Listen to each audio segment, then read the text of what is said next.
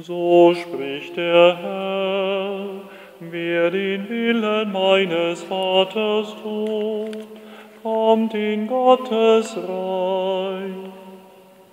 Meine Seele preist die Größe des Herrn. Und mein Geist jubelt über Gott, meinen Retter. So spricht der Herr, wer den Willen meines Vaters tut, kommt in Gottes Reich.